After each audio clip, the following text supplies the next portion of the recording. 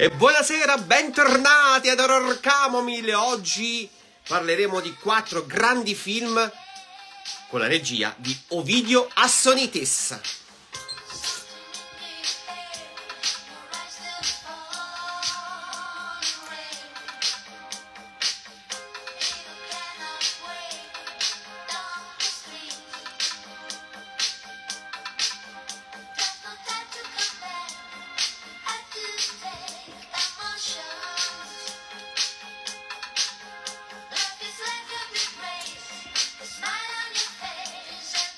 Allora buonasera, buonasera a tutti, bentornati ad Horror Camomille. Eh?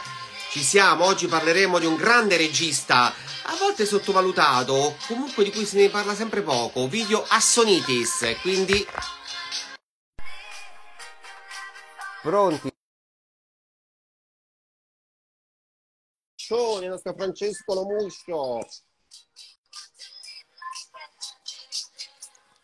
Ciao a tutti, saluto tutti, eh, saluto tutti. Ciao Francesco. Mi senti? Sì. Mi senti? Facciamo, sì, ti sento benissimo. Facciamo entrare anche Fabrizio. Ciao Fabrizio. Eccomi, ciao, ciao Francesco. Eccoti. Ciao Daniel. Eccoti, facciamo entrare anche Alice. Vediamo un po'. Voglio vedere come sei vestita oggi. Vediamo un po'. Guarda che stare, eh. Faccio... Fai vedere come sta. Va aspettare. Eh, lei è fantastica. Ah, ti è rosso fuori. Ciao Ali. Splendida come sempre. Allora, ciao Alice, come stai Alice? Ciao a tutti. Come... Bene, bene.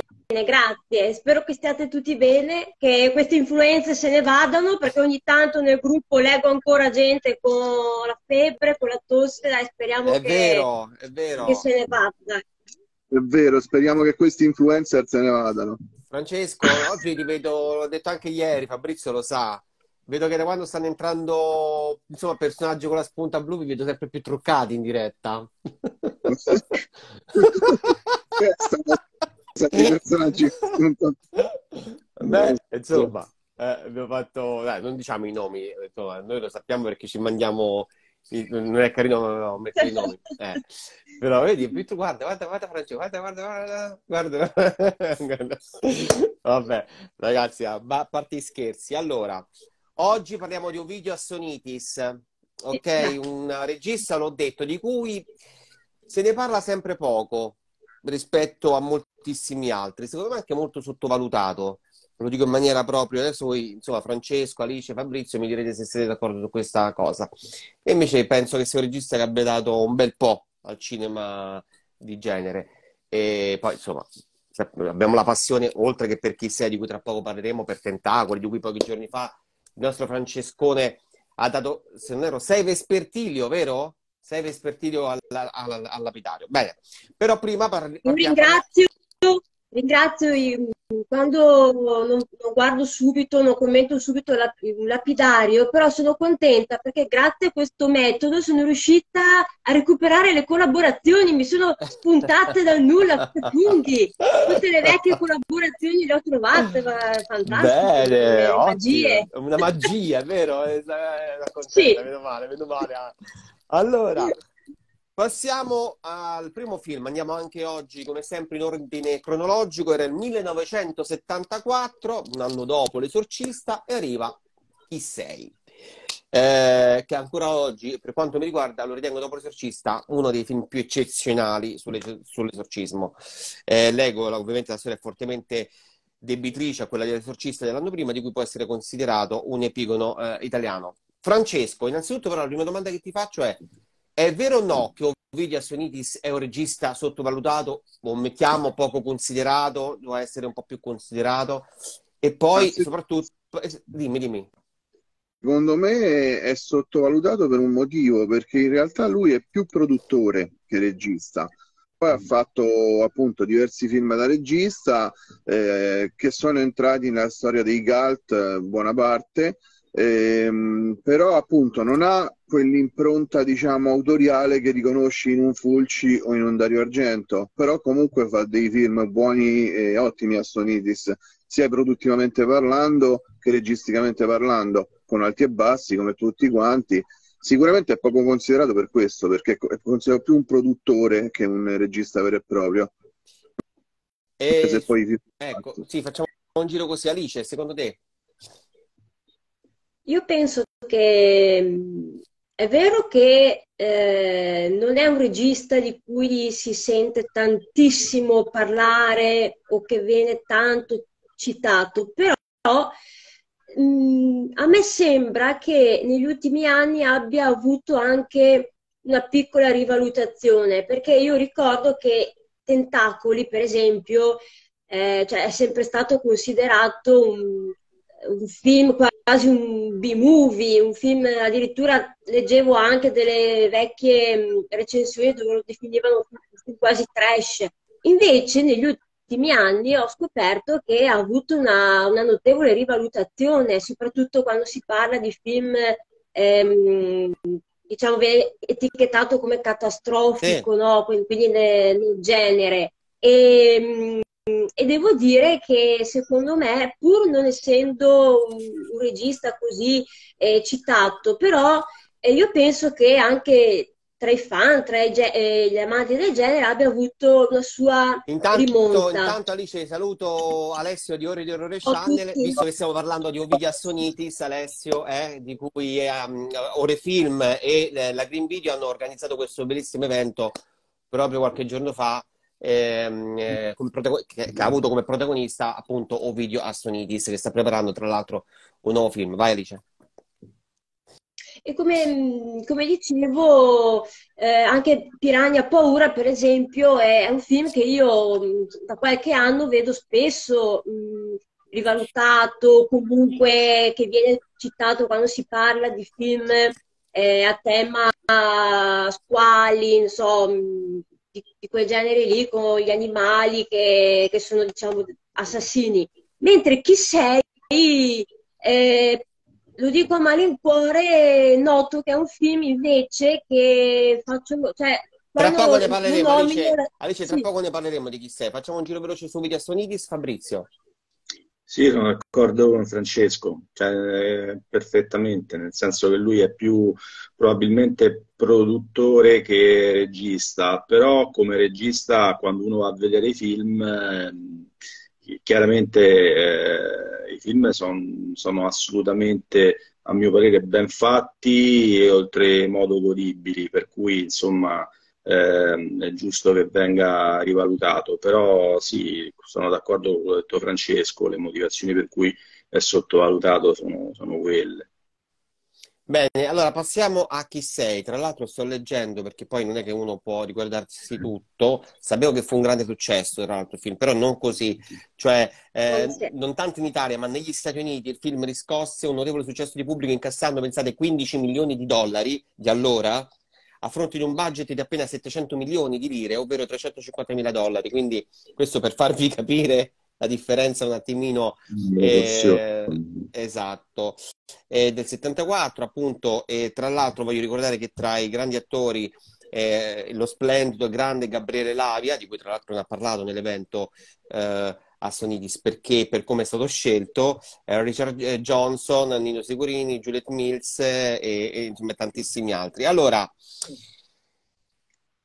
i critici di questo film, quelli negativi chiaramente, dicono che chi sei una fotocopia dell'esorcista, invece altri hanno detto che è l'esorcista italiano, quelli che fanno una critica positiva.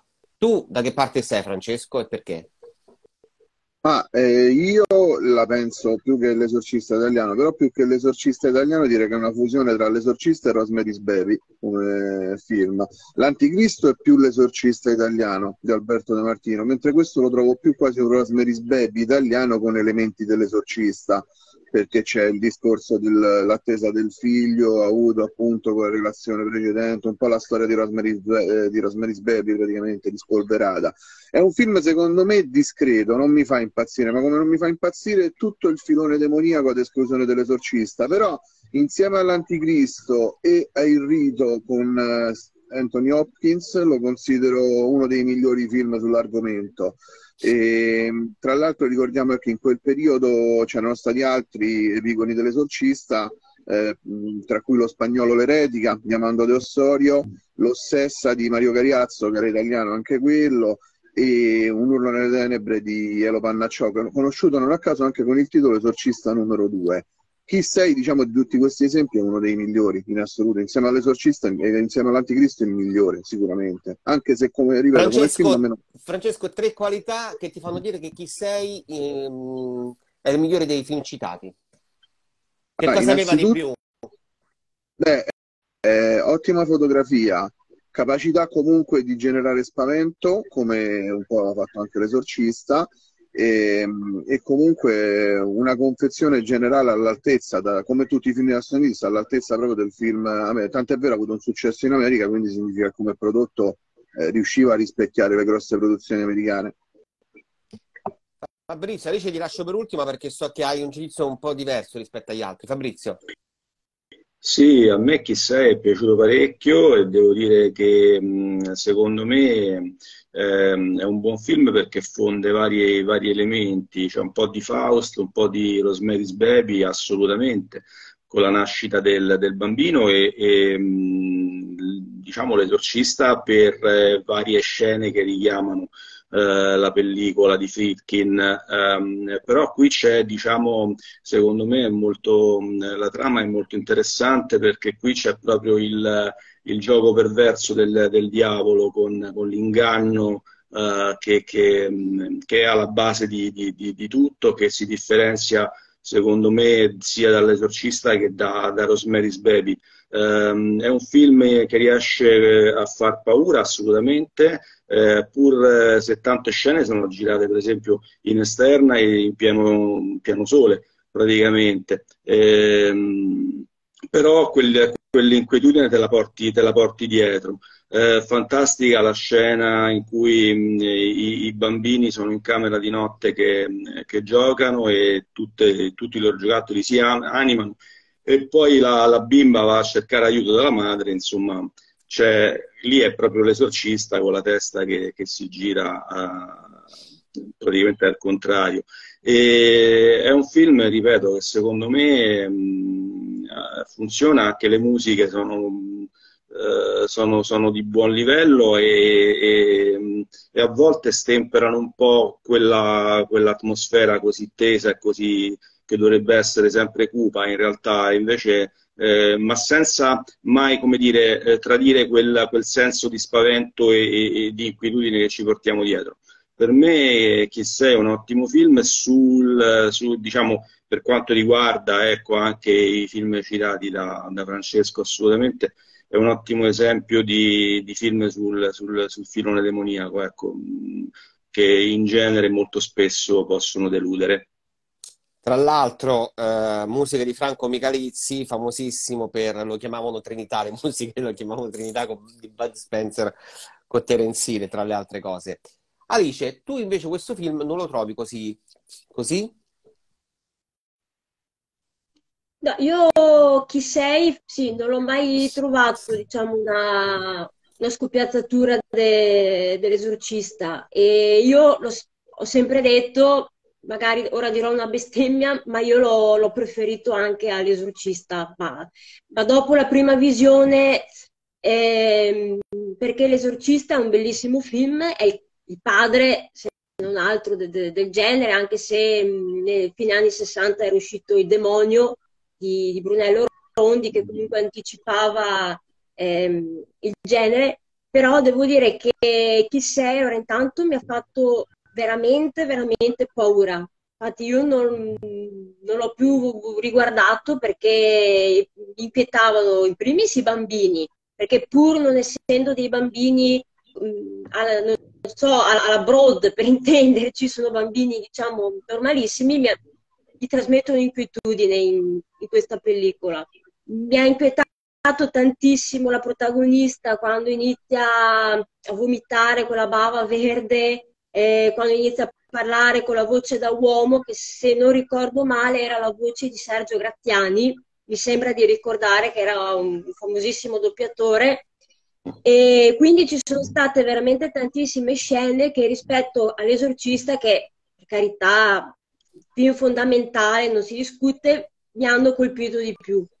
Inoltre io, più che scopiazzare l'esorcista, io semplicemente lo trovo semplicemente un film che si è ispirato all'esorcista, ma non un film che, che ogni scena dice eh, vabbè ma l'ha già fatto l'esorcista. Io l'ho sempre visto così. Poi è vero anche come diceva Francesco che c'è anche un po' di Rosemary's Baby per il fatto della gravidanza, del figlio che comunque era frutto di diciamo, un, patto col diavolo, se non ricordo male, con l'ex marito, mi pare, della protagonista o l'ex fidanzato, ora non ricordo molto bene, però io lo, trovo, ecco, io lo trovo un film personale, nonostante ci siano delle ispirazioni innegabili, io invece lo trovo un film personale.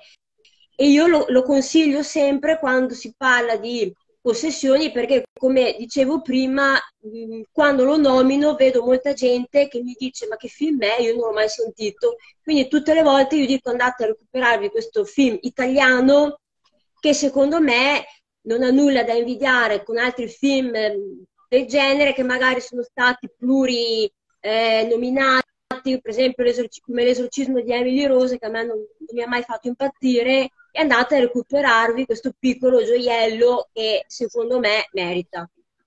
Francesco, domanda proprio quanto ha dato, diciamoci la verità, quanto ha dato l'interpretazione di Lavia in questo film? Ah, eh, eh, l'interpretazione di Lavia, bene o male, dà sempre tanto in tutti i film, dove lo metti lo metti, insomma, sia sulle cose più seriose che fa lui, sia su que- sul cinema di genere quando lo vediamo qui in Profondo Rosso, eh, ha, ha, comunque anche una faccia secondo me molto da horror. Poi sì. appunto eh, ehm, è un attore comunque molto impegnato, ha fatto tante altre cose, però è uno che secondo me per l'horror ha, un, ha una faccia che funziona alla grande. Però, Tra l'altro io non lo so. Io non ho sonno. Dimmi, dimmi Francesco. Dico funzionava anche in non ho sonno secondo me. Sì, sì, no, lui è un attore eclettico, poliedrico, come praticamente quasi la maggior parte degli attori che mm, vengono dal teatro, quindi vengono da un, insomma, dal palcoscenico dove c'è la gente vera. Basta vedere Glauco Mauri, ad esempio, un altro grandissimo attore eh, che si è prestato per Profondo Rosso e per altre pellicole. Ma voglio dire, Fabrizio, tu che cosa pensi? Quanto ha dato questo attore in questo film? Ma abbiamo visto anche eh, in, insomma, in tantissimi altri film mm, di Dario, dove, dove no, di Dario Argento pure, dove si è speso moltissimo. Sì, ha, ha dato molto perché comunque anche se era tanto giovane, comunque sia Uh, è riuscito a dare un, dire, un'impronta molto, molto, forte al film, in quanto a mio parere anche, mh, questo è un film eh, ambientato e girato in, in, America, è riuscito anche a dare, eh, a mio avviso, una sorta di internazionalità a, al film stesso, anche con la sua interpretazione e con la sua figura anche. Eh, nell'insieme eh, ha funzionato benissimo, per cui non ho nient'altto da aggiungere. Alice, vuoi dire qualcosa su Gabriele Lavia? Ti piace come attore? Qual è la sua sì, interpretazione nel mondo horror che ti è piaciuto, o nel mondo thriller che ti è piaciuta di più? Mm. È un bravissimo attore, ha un viso secondo me molto inquietante e anche se qua non fa diciamo una parte eh, dove fa magari il cattivo comunque che ha a che fare perché anche il profondo rosso comunque è un personaggio un po' ambiguo perché fino alla fine sembra quasi che possa anche essere lui l'assassino. Mentre qua diciamo che è un po' vittima di tutto quello che, che sta accadendo. Io lo voglio citare in un film altro film che io adoro che eh, sento sempre poco nominare che è Giro Limoni, il mostro di Roma, diretto da Damiano Damiani, che è un bellissimo film dove interpreta eh, la parte di quello che è il, il, vero assassino, che viene colpevolizzato Manfredi che non c'entra nulla, il vero assassino è lui e mi ricorderò sempre, dopo che lui entra una bambina, si siede a tavola tranquillamente e è sghignata, cioè quel, quell'espressione mi ha proprio messo ansia, quindi è veramente un attore che, che è bravo, è molto bravo. Sì, oh, anche io... Zeder, volevo...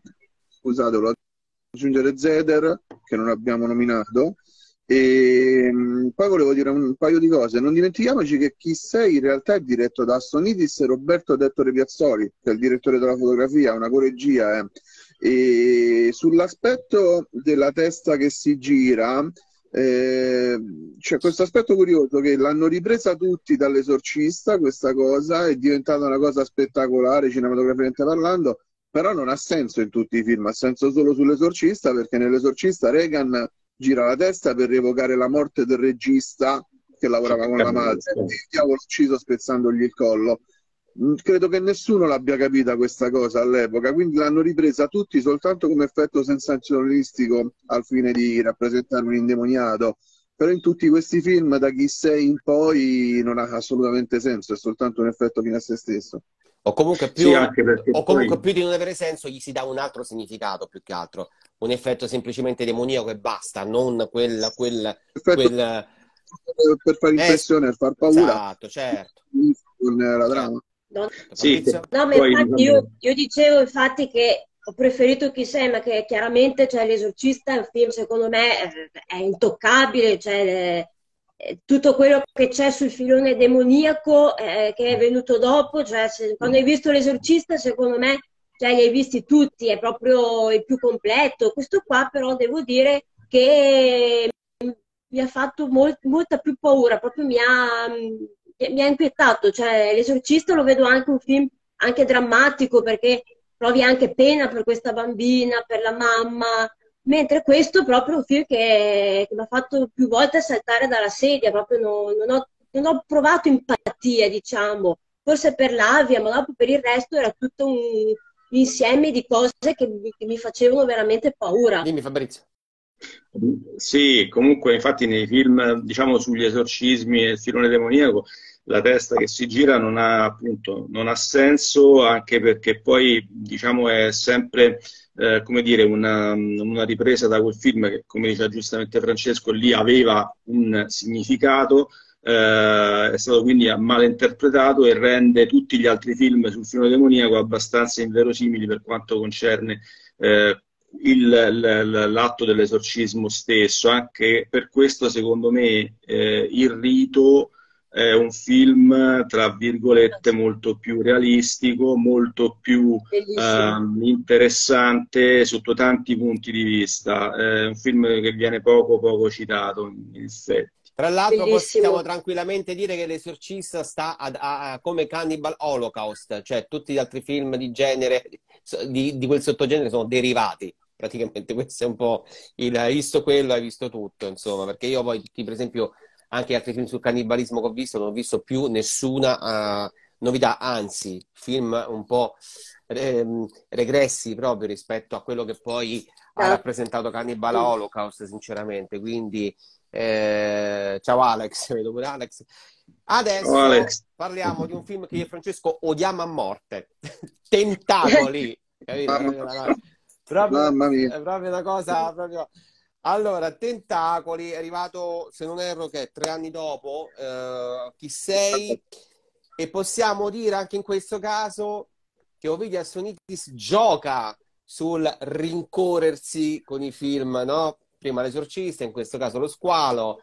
Ne devo dire, sta sempre un regista particolare.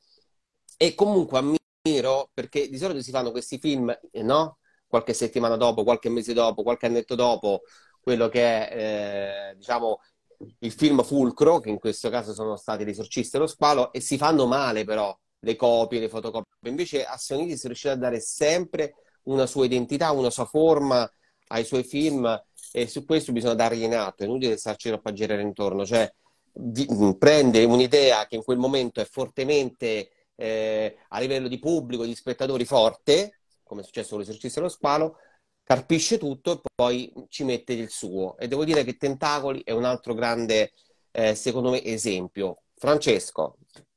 Tentacoli è il più grande esempio. Non, non capisco ancora perché negli anni 90 veniva trasmesso per il ciclo I bruttissimi di Odeon. È una no. cosa che Ti ricordi? Yes. Ma il paradosso è che mi sa che invece dopo lo trasmettevano per i bellissimi di Rete 4, se non ricordo male. Sì, sì, come no, certo. Poi certo. la programmazione di Rete 4 dove viene riproposto spesso, se non ricordo male per un periodo facevano per i bellissimi, quindi c'era questo paradosso che su Odeon era per i bruttissimi e su Rete 4 per i bellissimi. E no, io lo trovo un film eccezionale. L'altro ieri ho avuto modo di dirlo anche a lui all'incontro. Gli ho detto il film che ho visto di più in vita mia è bella, il più bel derivato dello squalo eh, ha un'identità sua, non è una scopiazzatura assolutamente dello squalo, anzi è un film completamente differente, anche se ne riprende in parte la struttura, però a differenza del film di Spielberg che è molto autoriale, questo è molto più di genere, è più movimentato, ci sono più morti, ogni situazione di morte è studiata a dovere, quando vedi di più, quando vedi di meno, e, um, ha una colonna sonora di Stelvio Cipriani che è eccezionale perché funziona nei momenti di tensione ma poi c'è anche tanta poesia dentro, ci sono dei momenti di un romanticismo incredibile. È un film che mi ha ricordato sempre la malinconia dell'estate, non so perché. C'è quella sequenza in cui c'è Bob Hopkins al porto che aspetta la moglie di notte che in realtà è morta uccisa dalla piovra, è bellissima, c'è tutto quel lento piano sequenza sulla gente al porto che finisce poi su di lui, con sopra la musica di Cipriani molto triste. E trovo che sia un film, poi vabbè, la sequenza della regata con i rallenti, fermo immagine, un Le po' prende da risate, Begging. no, quei fermi immagini Sì. sulle risate mentre da, da un'altra parte sta accadendo una tragedia. Eh. il contrasto della gente si diverte e poi comunque era difficile fare un film di- del genere mettendo insieme tre glorie hollywoodiane come Shelley Winters, John Shelley Huston Winters. e Fonda con Enzo Bottesini che era il campione di Rischia Tutto mi sembra e quindi non era anche un attore però faceva parte del sub quindi era un po' se stesso Bo Hopkins che era un caratterista da B-movie anche se aveva fatto American Graffiti di George Lucas e poi i nostri Franco Diogene, Delia Boccardo Ehm, insomma, c'è- poi c'era Marco Fiorini anche, che mm, è il tizio che muore con Diogene, no? Quello di cui si vedono Sì, le gambe di. Argento trascinate. Insomma, secondo me è veramente eccezionale, bellissimo, e che andrebbe fatto vedere nelle scuole di cinema perché secondo me per l'uso della musica e del montaggio è una grandissima scuola, con i suoi debiti a Hitchcock e a Sam Peckinpah, però sfruttati veramente alla grande. Tra l'altro, veramente comunque- grande Cipriani, eh, penso che ha dato una delle sue migliori, eh, con grande, è stato un grande musicista, ma penso che qua abbia dato veramente quasi il meglio di sé. Eh. Il bello quando dicevi prima lo Stati Uniti si faceva rincorrere era il bello del nostro cinema di genere cioè gli americani facevano un, un, eh, successo gli italiani cercavano di rifarlo è una cosa che adesso non fanno più adesso il cinema italiano è tutto quanto o le solite cose o remake dichiarati anche se lo, lo scrivono sempre meno di commedie spagnole, di commedie argentine, di commedie brasiliane, neanche di rifanno più storie che si ispirano, che cercano di cavalcare, e poi comunque non su- su- prendono successi di quei paesi, nel senso un film che è un successo in Brasile e loro lo rifanno, ma che senso ha? Eh, questo proprio per, un po' per nascondere il fatto che dicono stanno riprendendo cose, invece di prendere che ne so, il grande successo americano nel momento e di farlo, fanno questa cosa. E, mm, è brutta, secondo me era molto meglio prima quando appunto c'erano i nostri che cercavano di fare quei film con risultati più e meno apprezzabili, però diciamo che spesso ci siamo riusciti bene. Intanto saluto Giuseppe e tutti quelli che ci stanno salutando, e poi Alex, Tentacoli ispirando storie vere, lo dico per il fattaccio recente del cagnolino ucciso alla piovra. Scusate il black humor, sì, è vero. Eh, abbiamo, abbiamo riportato Marcus, ma riporta- ma riportato la notizia che poi eh, quando la realtà supera la fantasia. Alice, Io devo dire che avevo già accennato qualcosa mh, all'inizio della diretta, Tentacolo è un film che ehm, è sempre stato considerato un film, uno cult, un, un trash, ehm, e ultimamente ha avuto una, una rivalutazione perché mh, intanto in, in televisione eh, ogni tanto lo, lo danno eh, su Rete 4, eh, al pomeriggio ogni tanto lo, lo bec- sì, ogni volta tanto lo matti- becco in tarda mattinata, qualche volta. qualche Due mesi volta fa, con- due eh, mesi fa su stessa ora di pranzo l'ho beccata. su Iris, quindi da- siamo 34 passati dai bruttissimi, dai bruttissimi di Odeon, adesso lo fanno come se fosse quasi un film che la- ma, a qualsiasi orario guardatelo perché merita. Come un E qualsiasi oltre film alla di John Wayne, ormai. Eh, esatto, esatto. esatto. E tra l'altro, io mi ricordo... Sapevate? Sapevate che John Wayne doveva fare tentacoli? Eh, certo. Fu contattato per la parte, sì, vero. Però io per, non so. per questioni di salute... Ma avanzato non, non l'ha più chiamato. Eh, già, coraggio.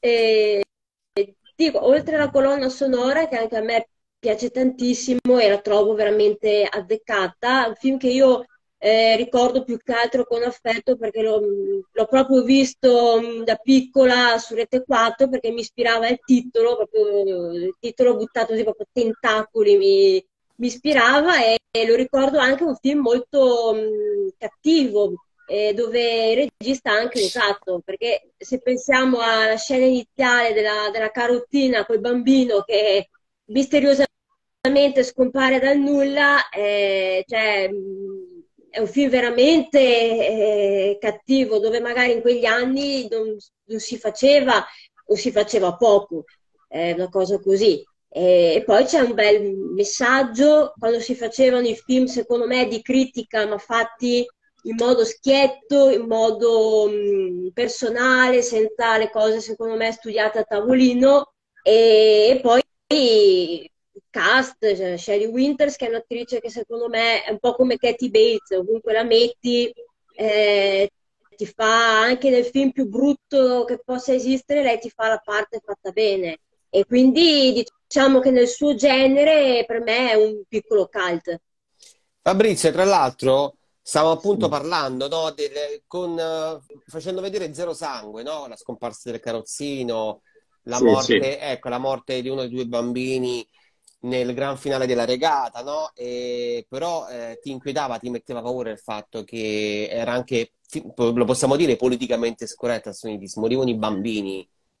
Sì, ma infatti ehm, assolutamente, eh, poi lo vedremo anche in un altro film, poi tanto ne parleremo più avanti.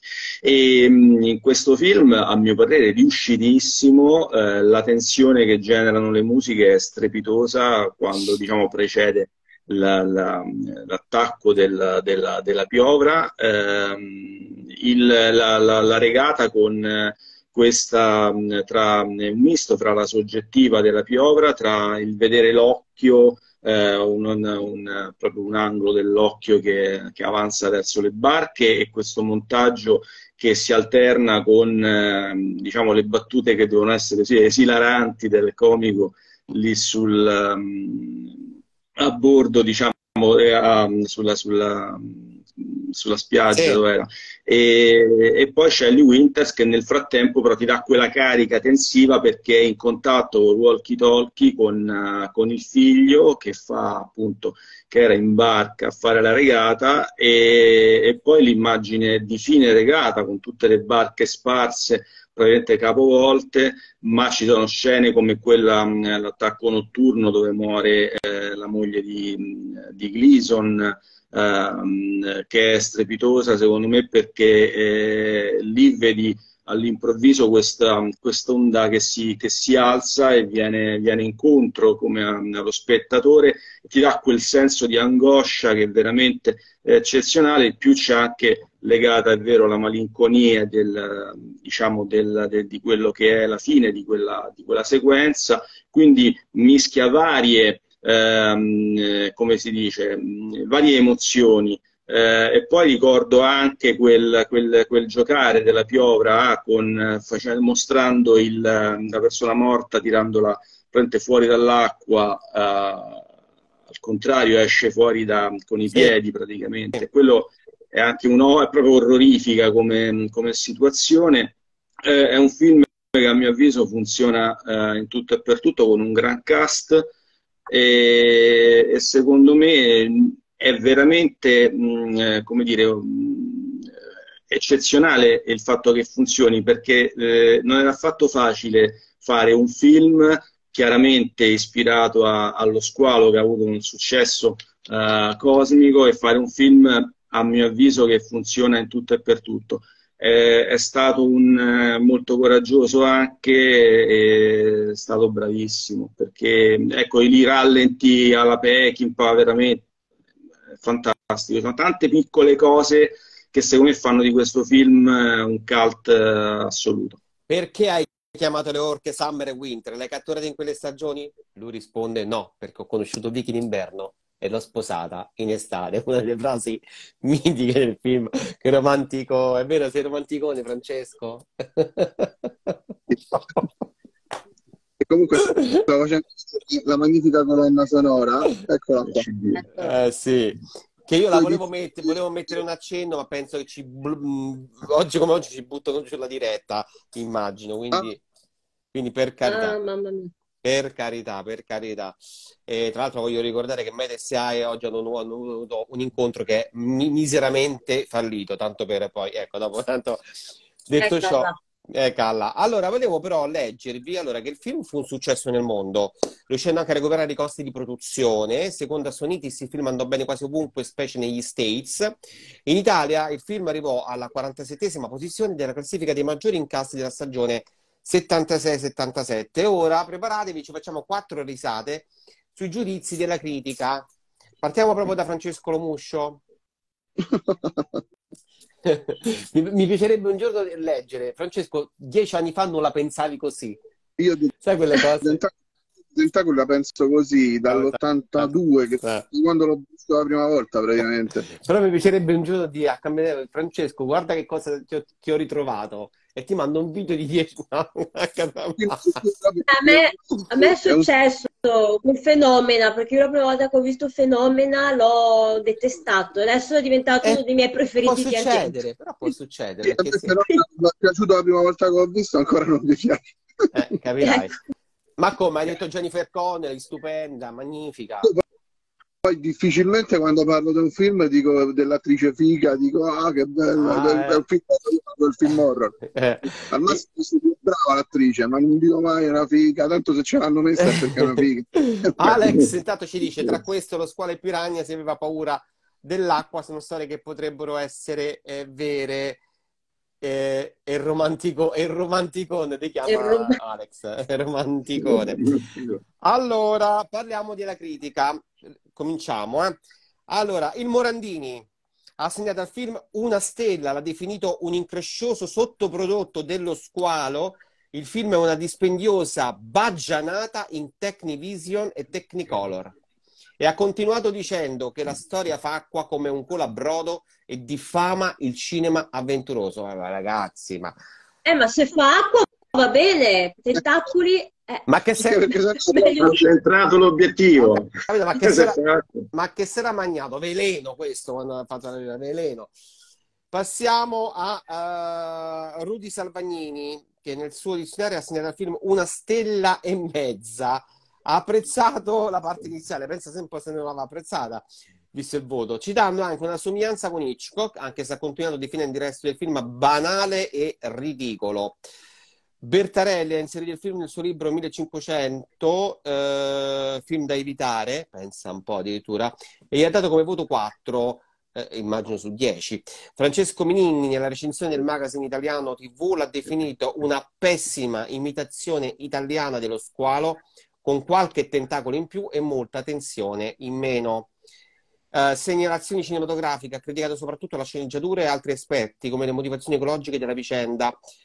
Il sito ha assegnato al film una volta un voto insufficiente, dandogli due stelle su cinque, e ha descritto i risvolti ecologisti e i personaggi ingenui e schematici, mentre ha terminato dicendo efficaci invece le scene con la piovra.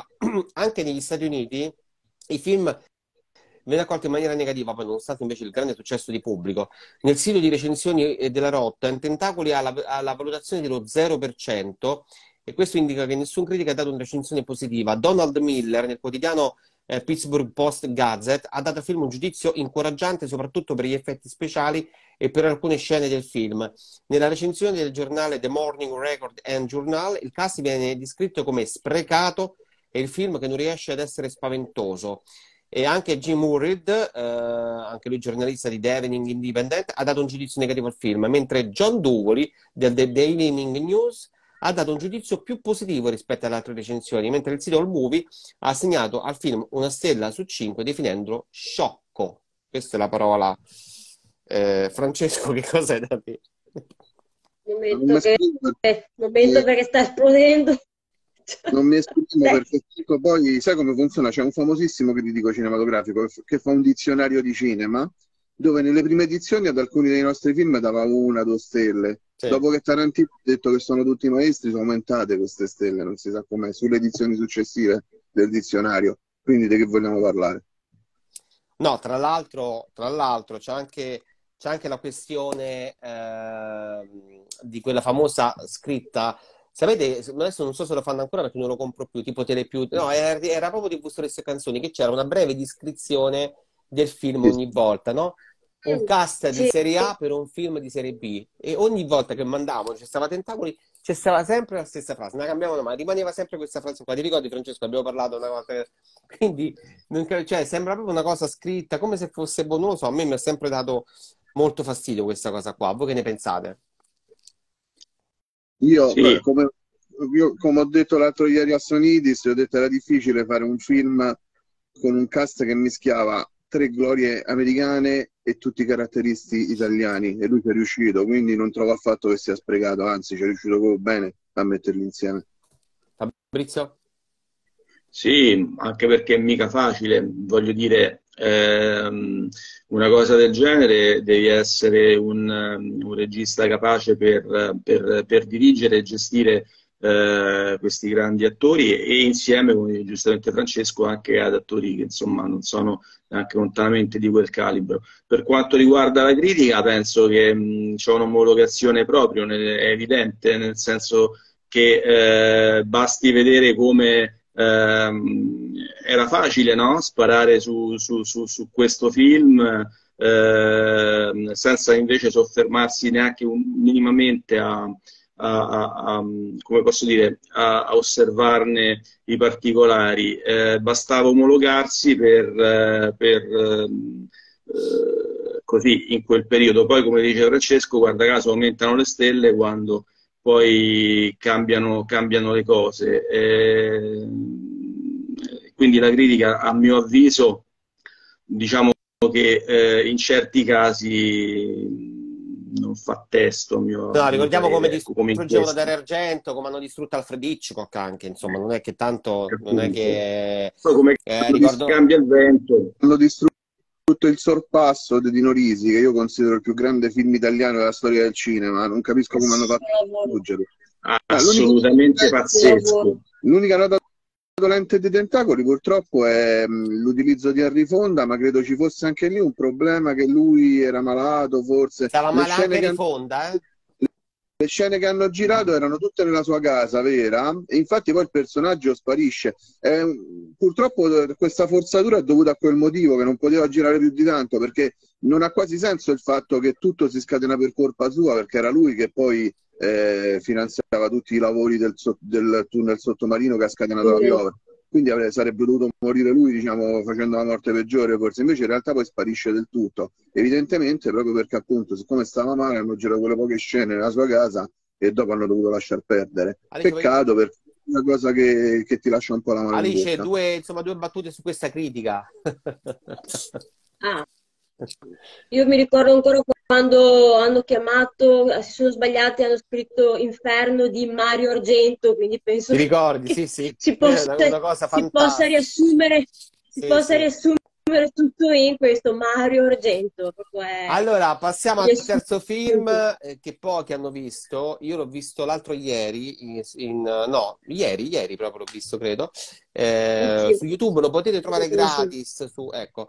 Eh, There Was a Little Girl, meglio conosciuto come Madhouse, è un film dell'81, scritto, prodotto e diretto appunto da Ovidio Astonitis. Rientra nei film cosiddetto video nasti, tra poco Francesco ci farà una descrizione, vediamo che dietro ha già tutto carta e penna per farci capire che cos'è un video nasty, ossia banditi in alcuni paesi per via dei contenuti espliciti.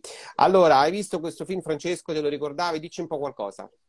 Sì, da non confondere tra l'altro con Madhouse, che è un altro è film più recente, eh, sì. è uscito in DVD, invece questo non è uscito. Beh, è un discreto slasher dell'81, non è né ai livelli di Chissei né ai livelli di Tentacoli, però comunque è un film che si lascia guardare, uscito appunto nel periodo dell'esplosione dello slasher perché c'erano stati tre anni prima Halloween, eh, l'anno prima venerdì 13, nello stesso anno Halloween 2, quindi andavano di moda gli assassini seriali.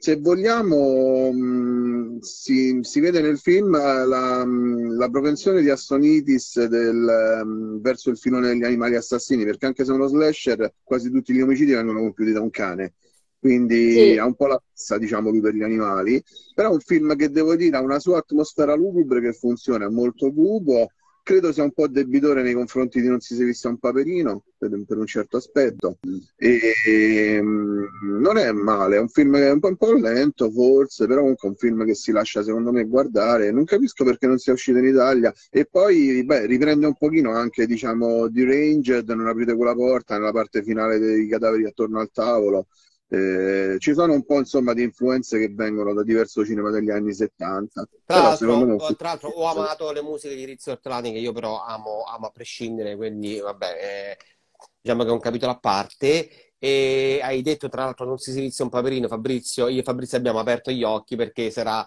la prossima diretta della finestra sul thriller, sarà tutta dedicata a Non si silizia un paperino, un altro mitico film eh, se, secondo me il vero capolavoro di Fulci, altro che trilogia, però è un mio parere personale, poi eh, ovviamente questo, questo, è per quanto mi riguarda. Alice.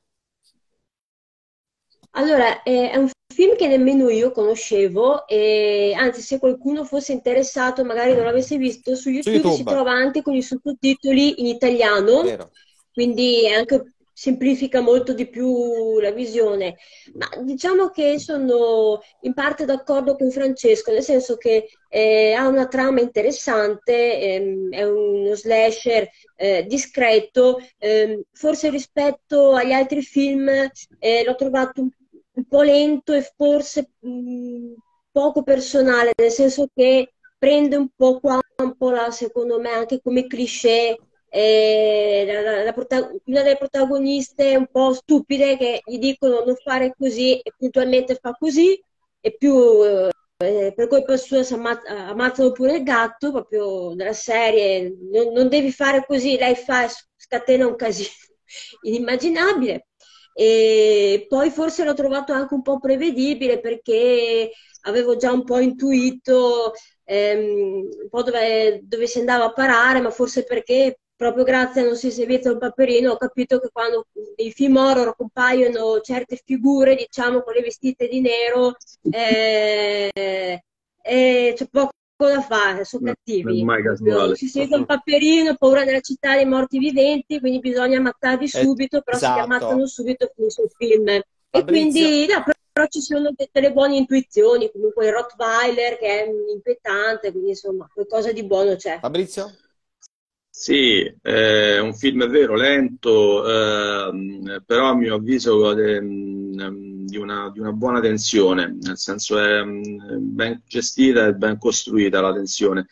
Eh, a mio avviso, grazie alle musiche, grazie a un uso di, di, alcune inquadrature, anche all'inizio di belle soggettive dell'omicida, eh, nelle stanze buie dove mm, praticamente poi verrà ucciso il, mm, il, secondo, mm, la seconda uccisione, se non erro la prima era quella che il cane aggredisce la, la, il poliziotto fuori dall'ospedale. Sì.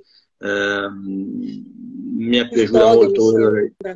Sì, il cane cane, insomma, l'aggressione del cane mm, è molto efficace anche nella, nella, nella vittima, nell'amica della, della, della, della, protagonista, viene uccisa anch'essa dal, dal, cane, anche lì ti dà un senso proprio del, dello sbranamento.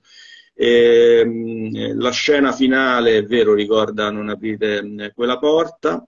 Eh, assolutamente godibile però a mio avviso il film eh, una, una, dove, la, dove diciamo sono, le scene omicidiarie sono abbastanza buone, ma è la tensione, secondo me, quella la, la, caratteristica peculiare del film, eh, perché mh, mm, sono, diciamo, è tutto molto diluito, per cui si gioca molto sulla, sulla tensione.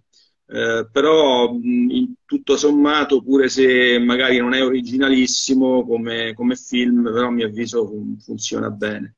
A me è piaciuto.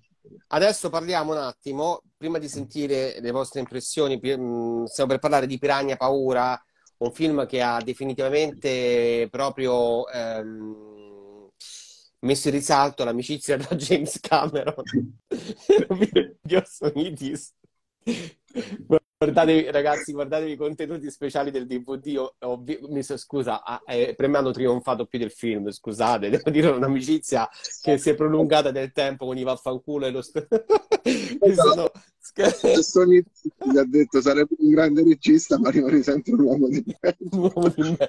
Io lo adoro, voi a casa mia Vabbè, poi insomma, dei contenuti speciali, guardate i contenuti speciali perché sono da morire. Ho il DVD a casa, me lo conservo come una reliquia. E allora, ciao. Piranha Paura, eh, che poi è stato tra l'altro distribuito a livello internazionale con Piranha Paura The Spawning, tra l'altro. Allora, Assonidis inizialmente doveva dirigere da solo la pellicola, poi a causa di questa clausola con la Warner Bros. venne deciso appunto di assoldare un cineasta americano praticamente sconosciuto. Il produttore si consultò col grandissimo eh, Roger Corman, il quale consigliò al finanziatore di far esordire James Cameron, per l'appunto all'epoca suo effettista di fiducia. E stando alle parole del futuro premio Oscar, il 7 fu molto difficile, non solo per lui. Eh, il 7 fu molto difficile, in particolare l'autore di, del Titanic ebbe numerosi scontri appunto con Ovidio. Dopo pochi giorni Cameron venne licenziato e il lungometraggio fu portato a termine dal produttore egiziano. Mm, alcune cose da dire, effetti speciali del grande Giannetto De Rossi da non non si dimentica mai Giannetto, le musiche di Sergio Cipriani e i costumi della grande Nicoletta Ercole, che insomma anche lei è un nome veramente molto, eh, molto importante. E, alla fine degli anni 80 viene pubblicata una versione, questo non lo sapevo, Laserdisc rimontata dallo stesso Cameron. In seguito tutte le edizioni sul mercato furono omologate allo standard cinematografico voluto da Sonitis, che chiaramente andava contro. Uh, la critica ha generalmente recensito negativamente purtroppo il film, la rivista Film TV considera il lungometraggio anonimo e godibile solo per i fan del genere. Nello stesso avviso anche Morando Morandini, che questo si faceva di veleno Morandini, che giudica mm. l'esordio di Cameron una regia efficace ma con una trama insensata e ridicola. Vabbè. Allora, passiamo, eh, vogliamo parlare dell'amicizia tra questi due signori, francesi, non direi, direi parlare di Piranha Paura. Dico, in realtà io sono sostanzialmente d'accordo con la critica, eh, perché di film di cui abbiamo parlato stasera è l'unico che non mi piace proprio. Non mi ha mai entusiasmato, l'unica cosa buona appunto sono gli effetti di Giannetto De Rossi, la trovata dei piragna che volano era, se vogliamo, anche demenziale secondo me, insomma, era un po' ridicola. Però è un film che non mi ha mai... Poi, sapendo... addirittura conoscevo uno anni fa che mi diceva io preferisco Piranha Paura a Tentacoli, ma no. assolutamente proprio paragoni. Eh, è un film è molto americano come film, sembra ecco, un classico film di movie americano fatto però comunque con i mezzi. Devo dire, non mi ha mai entusiasmato, non, non, me lo ricordo neanche per niente, per scene particolari, le scene di morte pure. Eh, era insomma un classico film di animali assassini come sembra nel 2000, c'era molta meno identità rispetto a Tentacoli, secondo me, come film.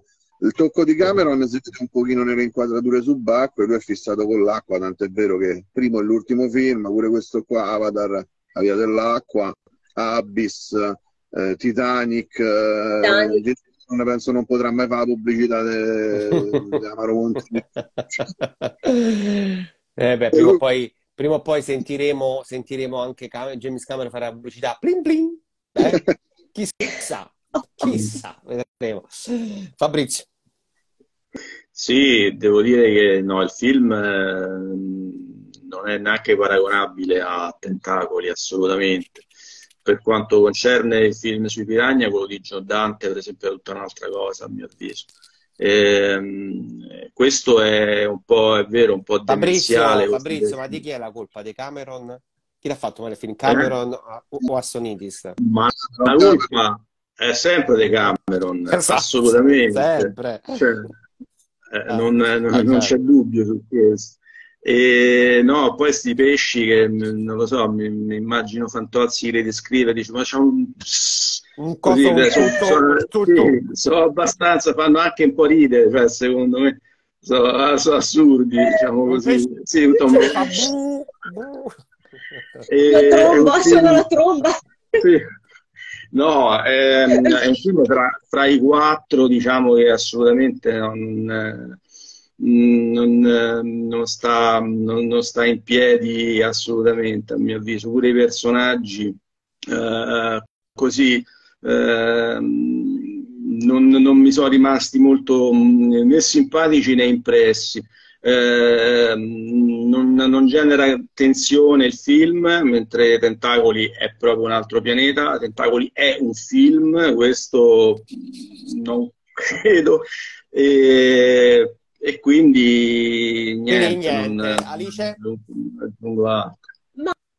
Ma io diciamo che sono abbastanza d'accordo. È un film che comunque anche questo ha avuto una rivalutazione eh, più che altro tra fan del genere, perché vedo spesso anche collezionisti che, mh, che lo comprano, ma anche eh, buone impressioni. Io dico che è un film, secondo me, proprio per chi ama il genere e che forse stavolta si è voluto un po' troppo sfruttare il successo di Piranha, di, di Giodante, eh, però in questo caso non, l'operazione non è riuscita del tutto, forse si è voluto un po' troppo americanizzare, ma mm, non è un film secondo me che, che, può competere con Piranha, cioè secondo me è un po' la brutta coppia di Piranha, a differenza di Tentacoli che invece ha una sua personalità, nonostante ok, il successo dello squalo eh, va bene, però eh, qua diciamo che l'operazione non è riuscita del tutto. Io dico sempre che è un film per chi ama il genere, i piranha, so squali, tutte eh, tutte quelle cose lì con i contesti marini, insomma. Francesco, pensi che appunto questa rottura che c'è stata nel corso del film, tra l'altro, abbia rovinato il film? Cioè, se l'avesse fatto solamente un video, secondo te sarebbe riuscito meglio? Ma non ho idea, perché secondo me il film era proprio già così, nel senso la tipologia di musica, la tipologia di storia, non penso che eh, sia un film che è venuto male perché è travagliato, penso proprio che, anzi, tanto è vero che eh, lo sai, no? Eh, dicono che Cameron eh, andava a forzare il lucchetto della sala montaggio, se sì. lo rimontava.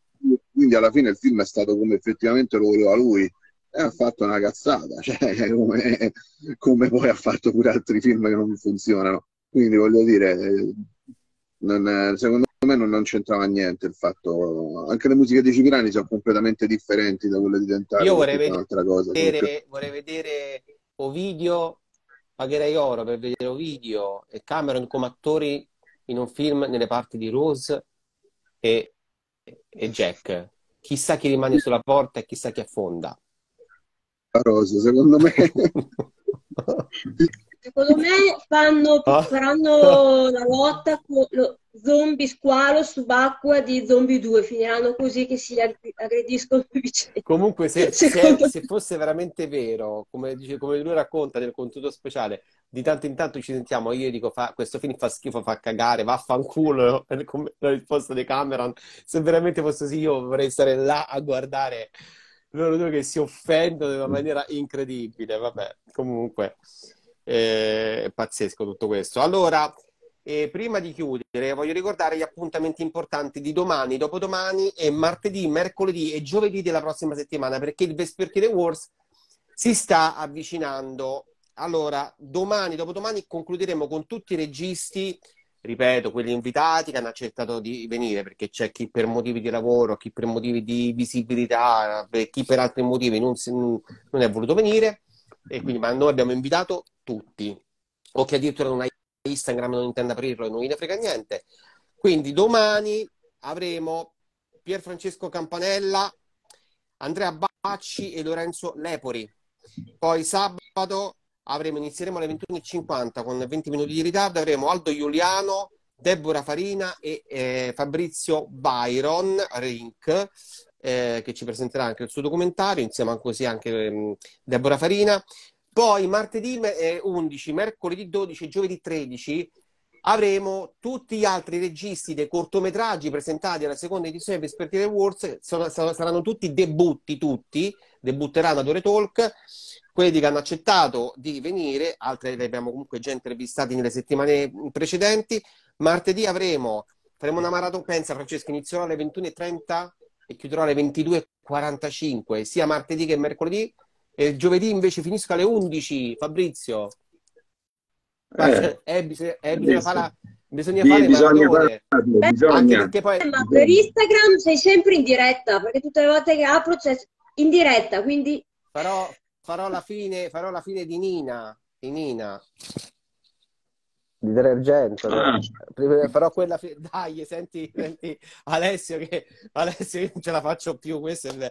Allora, vi dico esattamente, ce la faccio più veramente, guarda, mi faccio brillare. Martedì 11 avremo Lorenzo Scalzo, Giuseppe Schettino, eh, Cristiano Ciccotti, Cristian Bachini e, ed infine Letizia Giorgi insieme a eh, Francesco Stampati e poi mercoledì 12, 12, avremo Saverio Lunare e Simona Rurale Simona tra l'altro prima l'ho vista credo in linea Simone Miccinilli, Davide Mastrangelo Massimo Bulgarelli e Sebastiano Di Martino Sebe Di Martino ed infine giovedì 13 eh, ancora, manca ancora la conferma di, di, di, due registi, però arriveranno Cristina Costabile, Francesco Folletto, Nicolai Servettini e Domenico mh, Montichi, Montixi, Montixi, scusate.